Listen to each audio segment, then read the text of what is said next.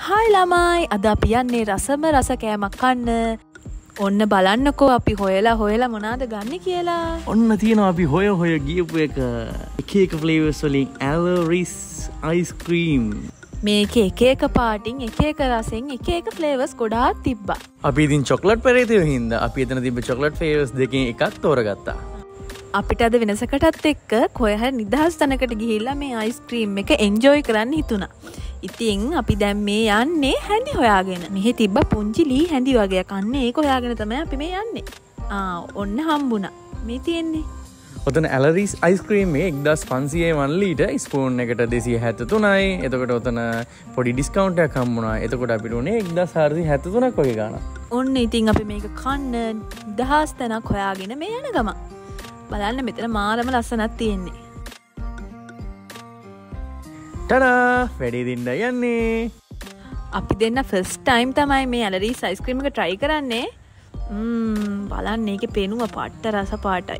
මේක මේ මොනාද මොනද කෑලි ගොඩත් තියන දැන් අපි ට්‍රයිකල් බල මේ කනකං ඉවසිල්ලන්න ඇතු ඉන්න දැම වෙලායි හැමදාම වගේ හනී තමා කෑමක් අදින් පලවෙනි කටකන්නේ ඔන්න කනක් කෑවා මේක ඇත්තටම අපි කාලතින අනිත් අයිස්ක්‍රීම් වර්ගවලට වඩා පොඩි වෙනසක් තියෙනවා. පොඩි වෙනසක් කිව්වට ඇත්තට මේක මාර රසයි.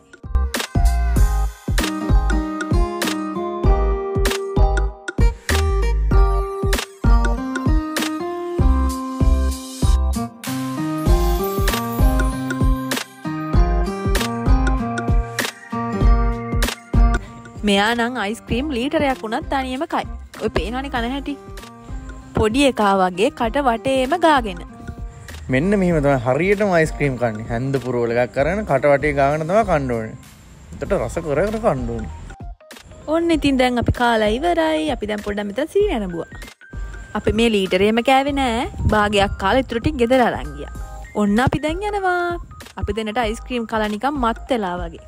ඕන දැන් ඒ කියන්න අපි දෙනම් සැරට මොනා හරි කන්න යන්නේ මෙතනින් අපි වඩී ඇන් සමෝස ගත්තා. ඔන්න ඉතින් එහෙම තම අද දවසේ හවස් වරුව ගෙවුණේ තා වීඩියෝකෙන් අපි එන්නම්.